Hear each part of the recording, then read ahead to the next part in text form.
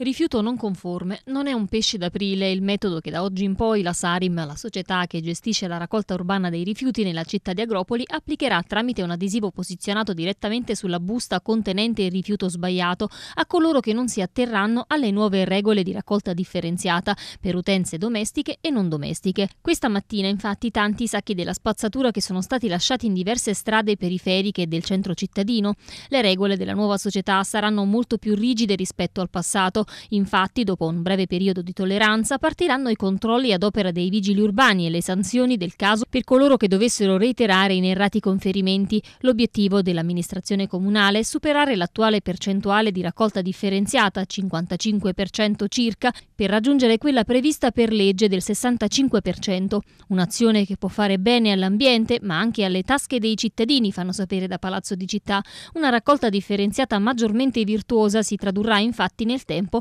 in un abbassamento dei costi di smaltimento per l'ente che si rifletterà di conseguenza sulle bollette più leggere per i cittadini contribuenti. Ricordiamo che il nuovo calendario utenze domestiche prevede di conferire l'organico il martedì, il venerdì e la domenica, il multimateriale il lunedì e il giovedì, la carta e il cartone il martedì e il venerdì, il vetro il lunedì, il secco e il residuo il mercoledì.